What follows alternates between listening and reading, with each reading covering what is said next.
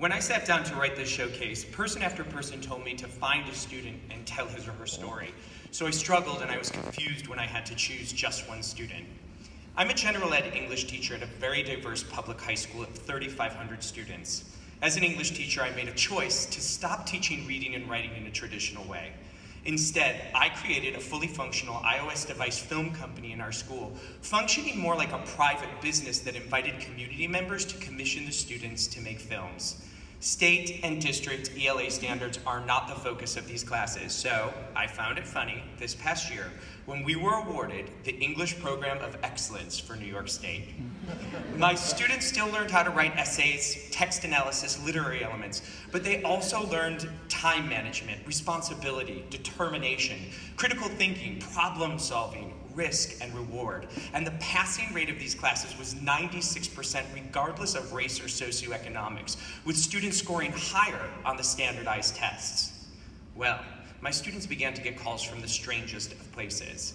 Chancellor of Education for the state of New York, Dr. Betty Rosa, commissioned my students to create her video address for a statewide education conference.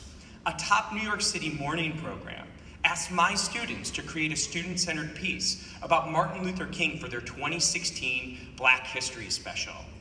The crew of the musical Hamilton invited my kids backstage to tour and to interview a number of crew members. And not only did my students get to interview Emmy Award winner Michael Park from the 2017 Tony Award winning musical Dear Evan Hansen, they got to go to the show and attend a special talkback. That's when it hit me.